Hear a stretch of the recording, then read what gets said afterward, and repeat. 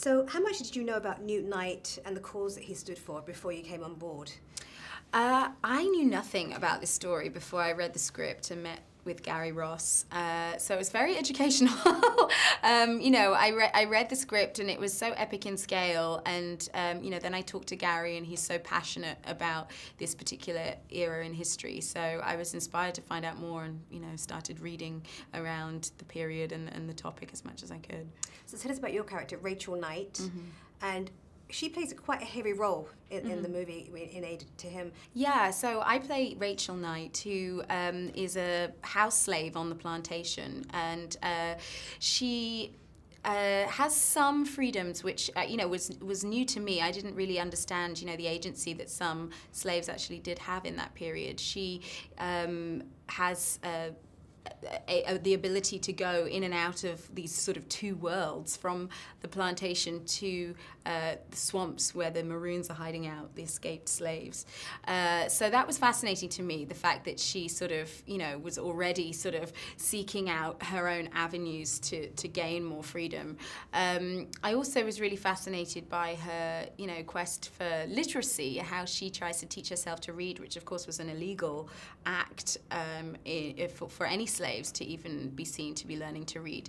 Uh, so yeah, she meets um, Newt Knight, played by Matthew McConaughey, uh, when she's first helping to heal their baby, and then she helps him find sanctuary in the swamp with the Maroons, and then um, they fall in love, and it's sort of you know um, a love story alongside this sort of beautiful struggle for freedom that they go on as uh, as they're united together to create the Free State of Jones. They've come a long way since Holby City mm -hmm. to making Hollywood movies.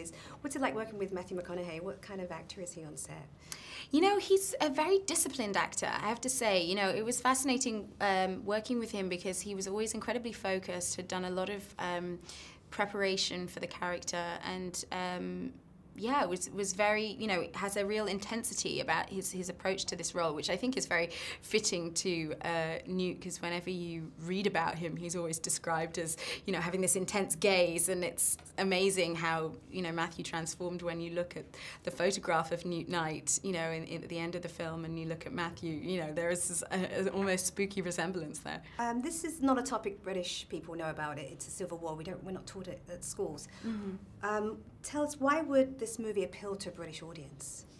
Well, I think the themes that are encapsulated in the movie are universal, and, and you don't have to know anything about the Civil War to appreciate the film. I certainly didn't know anything about the Civil War, and I think, you know, uh, the Civil War is really the, the starting point for the movie, and then it sort of goes into a much more uh, personal struggle um, for this sort of band of brothers of, of people that are, you know, poor white uh, farmers and, uh, you know, escaped slaves joined together. So I think, you know, that idea of people uniting from seemingly sides that you, you wouldn't think they would have anything in common, but uniting for a sort of a human cause, um, hopefully transcends any, any history.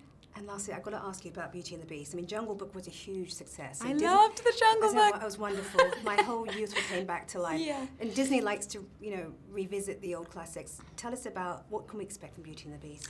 Well, I hope that it will be magical uh, and romantic and, you know, everything that you remember from the original and and more. Um, yeah, it's it's beautiful and uh, it was a, a favorite of mine when I was a kid too. So I was very happy to be part of Living it. Living a real dream, weren't you? Yeah. Thank you so much. Thank, Thank you. you. Ladies and gentlemen, you're watching Hey You Guys! Hey You Guys, huh? Hey You Guys. Is that from the Goonies? It is indeed, Nice. Hey!